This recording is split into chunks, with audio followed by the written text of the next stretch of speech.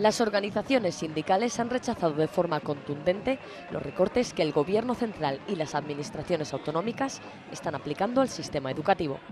Desde la Federación de Enseñanza de Comisiones Obreras han subrayado que los trabajadores están siendo seriamente perjudicados como consecuencia de todos los recortes que desde el año 2010 están llevando a cabo las administraciones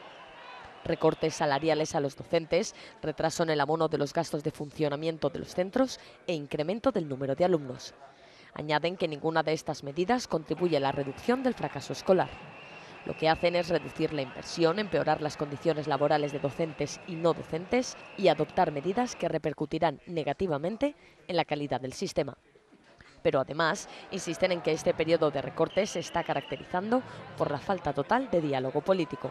Sindicatos explican que desde la toma de posesión del ministro de Educación, José Ignacio Bert, aún no se ha convocado la mesa sectorial de la enseñanza concertada, a pesar de las reiteradas peticiones que tiene sobre la mesa. Ante la falta de diálogo, las organizaciones sindicales han avisado que organizarán a comienzo del curso escolar una gran movilización contra la política de recortes en el sector educativo.